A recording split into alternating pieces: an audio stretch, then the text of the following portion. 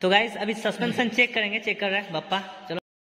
Hey guys good morning so मैं हूँ आशीष और मेरे साथ है पप्पा तो स्वागत है आप लोगों का मेरे यूट्यूब चैनल में।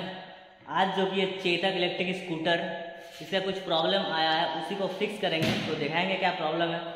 चलो दिखाते हैं आप लोग जो प्रॉब्लम आया है कि सीट्स पे जो नॉइज़ हो रहा है हम उसको खोल कर देंगे दोनों पास। को ठीक है देख लीजिए ठीक से। तो ये क्या है? प्रॉब्लम क्या है? ऐसा लूज हो गया क्या? इसका जो नॉइज़ प्रॉब्लम है ना तो इधर जो ढीला हुआ है ठीक है? हम्म, और सर्वर का प्रॉब्लम है, सबसे पहले तो हम लोग को जो कवर है इसका हम्म। इसका खोल कर खोल के रखना होगा ठीक है? बाकी है बाकी कस्टमर बोल रहा था कि सस्पेंशन से नॉइज़ आ रहा है। तो हम पहले बोल्ट चेक करेंगे उसके बाद सस्पेंशन चेक करेंगे। चलाएँगे इसको गाड़ी को? और बाकी आपको गाड़ी दिख रहा होगा कैसा है इलेक्ट्रिकली टोटल इलेक्ट्रिकल है। यहाँ पर जो कि आप देख सकते हो, ये बैटरी रखा हुआ है पूरा बड़ा सा बैटरी बाकी फ्यूज़ है ऑल कंट्रोलर्स है।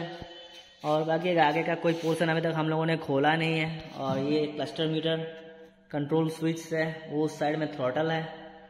बाकी गाड़ी में यही कुछ है और खोलेंगे तो पूरा दिख जाएगा गाड़ी में क्या है, क्या नहीं है।